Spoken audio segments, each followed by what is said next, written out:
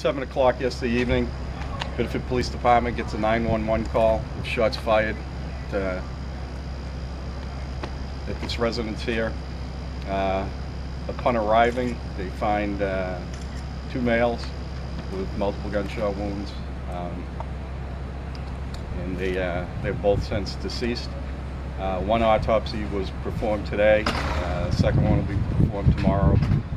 Treating it as a, uh, as a double homicide at this time.